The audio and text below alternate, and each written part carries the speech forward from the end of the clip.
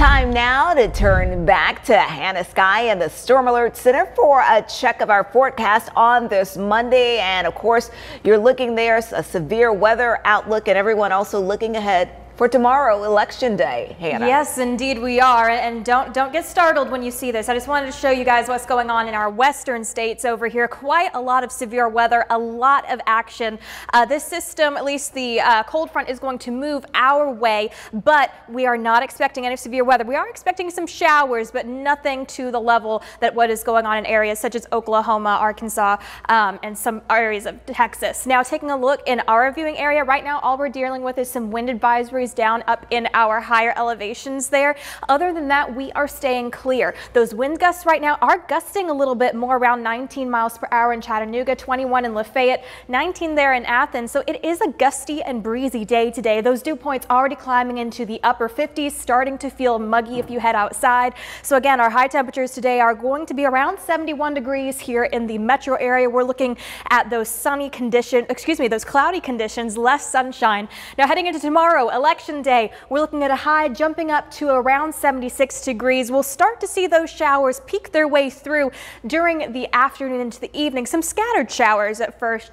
Here's a look at today. Again, we've got that line of storms moving its way in from the west along that cold front. As we go into Tuesday around 513, that's when we start to see a couple of those showers, at least in the Chattanooga metro area areas of Dalton, Georgia, Dunlap.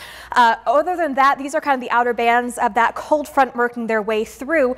As we head into the next couple of hours after that, heading into your early Wednesday, we dry up a little bit. So closer to around so far 7, 8 o'clock on Tuesday, election night, still staying relatively dry. I definitely bring a rain jacket or just a small umbrella for some of those uh, areas, just in case if you get stuck outside waiting in the polls and it begins to shower.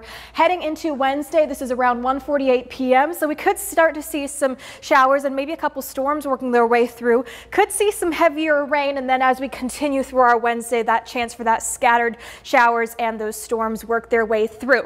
Again, the Storm Prediction Center is not forecasting anything severe for our area for tomorrow or on Wednesday.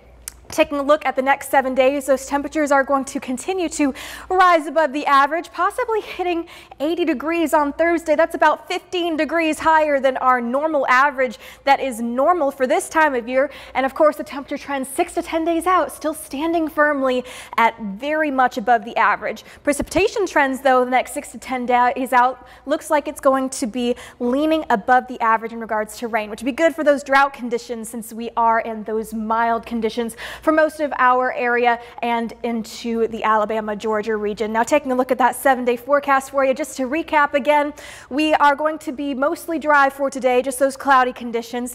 Start to see some of those showers work their way through on election day afternoon, mostly sporadic, but still bring some rain gear with you. And then that heavier rain works its way through heading into your Wednesday morning.